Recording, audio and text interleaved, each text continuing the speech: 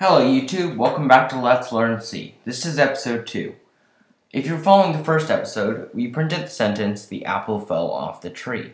Today we'll be outputting some variables. So first we have to declare the variable that we want to output. So type int and then the name of the variable. We'll call our variable number.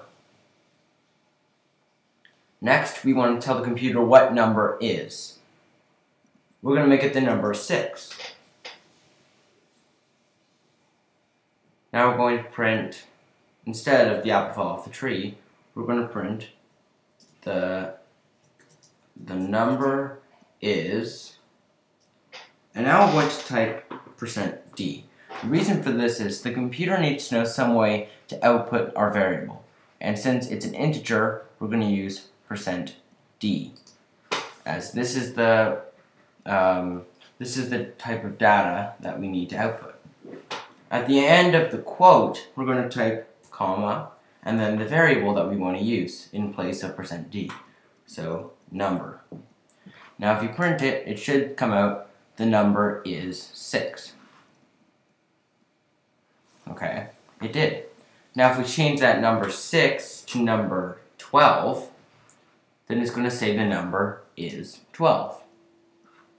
Now what if we want to make a decimal? So instead of declaring it with int, we're going to declare it with float. We're going to call this variable decimal. So type decimal, and decimal equals, we use 5.78. Now create a new line, print f,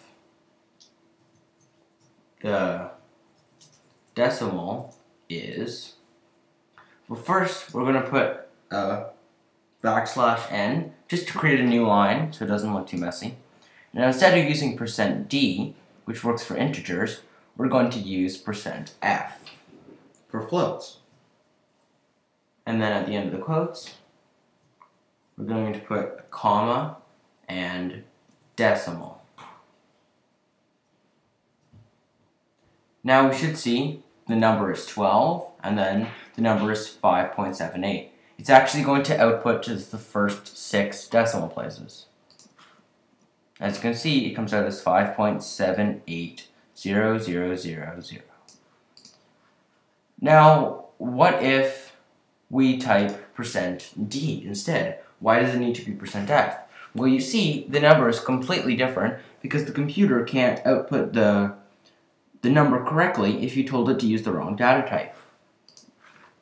This time, it comes out as this number, which is completely wrong and incorrect. That's why it has to stay percent %f. That's it for today. Uh, like and subscribe. Check out the next episode where we're going to do some simple math. Thanks for watching.